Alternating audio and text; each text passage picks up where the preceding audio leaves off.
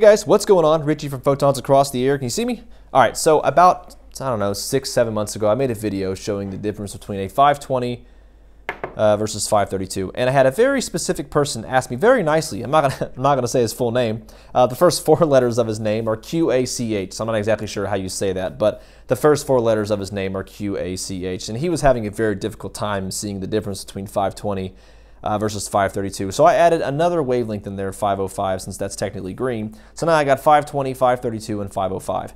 Uh, but like I said, he was having a very difficult time seeing the difference between the two, so I'm remaking the video specifically for him. And I'm using a lot of fog because he also said he likes fog. He said, I really like it when you use fog in your videos, uh, photons across the air, so can you please use a lot of fog? so I'm using a lot of fog for him. Um, all right, so we're going to start off with the first wavelength, this 520, my PL 520 build. a little bit darker green than the 532 most people are used to seeing. And we are using 520 on left and 532 on right. And my 532 is mode hopping, so that's why you see it kind of wigging out there. It's not doing anymore, but so 520, 532. And as you can see, it's a little bit darker of a color. Let's see if I can get a little, whoa, see if I can get a little closer to the camera. 520 on left and 532 on right. So it's not that noticeable of a difference, to be honest. The human eye is just not able to pick it up that much. The 532 is a little bit more of a lime color, I guess. And to be quite honest, when I first built my first 520 uh, nanometer laser, I actually thought, gonna, I thought it was going to be a pretty big difference considering the fact that that's uh, 520 versus 532. That's 12 nanometer difference. But believe it or not, it's just not that big of a difference. All right, so now the 505, the so they call mint green. You can definitely see the difference there. It's 505 520. And this is for you, QACH, since you can't, uh, he was having a, a hard time seeing the difference. 520 is in the middle, 505 is on the far left, and 532 is on the right.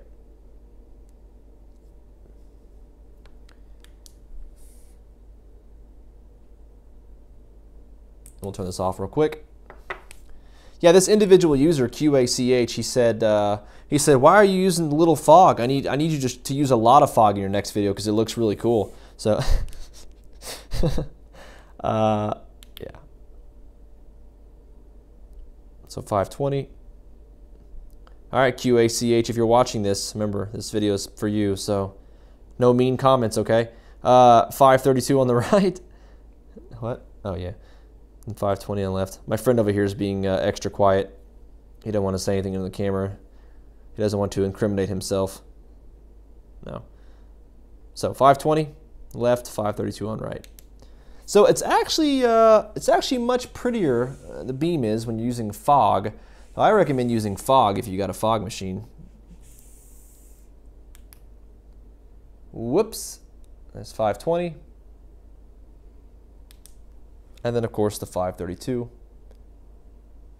Quite frankly, I think 532 is a prettier color. It's really cool to have 520, and it's great to have really powerful diode or direct diode lasers like 520 nanometers, like the NG or the NDG uh, diodes and, and the uh, NU GM02, I think.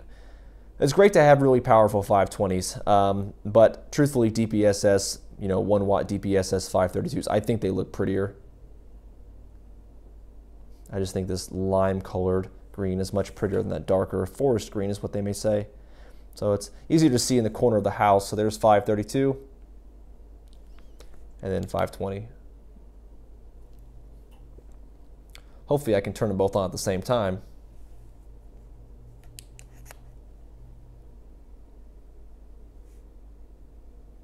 So the 520 is on left, 532 is on right.